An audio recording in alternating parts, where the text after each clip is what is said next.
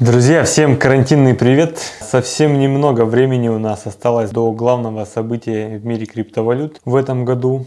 Да, и можно сказать, за последние 4 года это халвинг биткоина.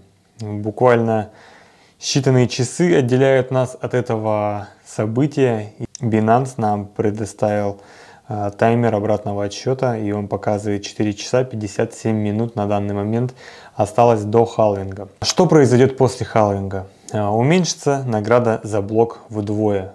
То есть все майнеры начнут зарабатывать в два раза меньше. На данный момент награда за блок составляет 12,5 биткоинов. После халвинга она составит 6,25 биткоина. Нам, как майнерам, наверное, всем охота знать, что случится после этого события. Сразу будет падение доходности, которое мы увидим уже завтра. Я думаю, что будет следующим образом. Все неэффективные майнеры, регионы с дорогим электричеством, э, старые модели майнеров будут отключаться. Во всем мире отключают майнеры, сеть у нас начнет восстанавливаться. А такие майнеры, как S9, которые уже существуют и производятся с 2016 года, они они ну, уже морально устарели, но их выпущено огромное количество. Нам остается только гадать и смотреть, сколько из всего хешрейта занимают данные майнеры. Я думаю, что наверное, хешрейт в ближайшую неделю упадет у нас процентов на 40, наверное, на 50. А что произойдет дальше?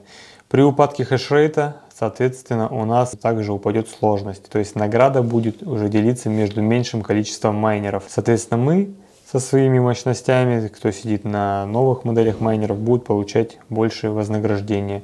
Ну и, соответственно, те, кто даже на S9 переживет все это событие, я думаю, что они все равно будут работать в плюс в таких регионах, как Иркутская область и в Китае, допустим, летом в Сычуане. Я думаю, что они не пропустят момент помайнить. А у нас уже был пример с лайткоином, когда в прошлом году произошел халвинг лайткоина, майнеры L3, но они продавались по тысячи, полторы, две тысячи рублей и никому не были нужны. Сейчас же сеть стабилизировалась спустя полгода. Все L3 показывают очень стабильный стабильный доход, нет у них таких скачков, что вверх, что вниз, то есть, ну, работают стабильно, доработают. Я думаю, сеть биткоина также адаптируется к новым условиям, неэффективное оборудование отключится, и нам, майнерам, будет доставаться больше кусок пирога. Что делать? Э, я буду майнить продолжать, то есть, несмотря на падение, я буду майнить и ждать, когда сеть восстановится, когда начнет подниматься курс биткоина и так далее. А, я думаю, что падение составит, допустим, сейчас у нас на данный момент оно составит 50%,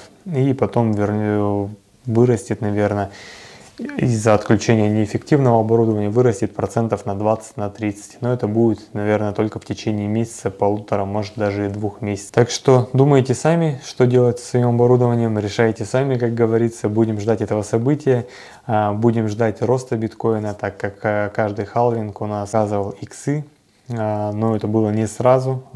Но, как мы все знаем, эту данную криптовалюту просчитать невозможно. И непонятно, куда он сейчас будет двигаться. На данный момент у нас курс биткоина 8826 долларов по курсу Binance. До наступления нашего всем долгожданного события осталось 4 часа 56 минут. Под видео будет ссылка на таймер обратного отчета. Все, всем курса, всем пока.